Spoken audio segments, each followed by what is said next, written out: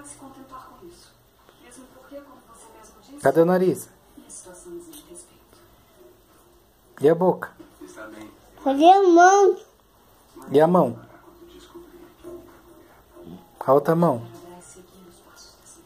E o cabelo?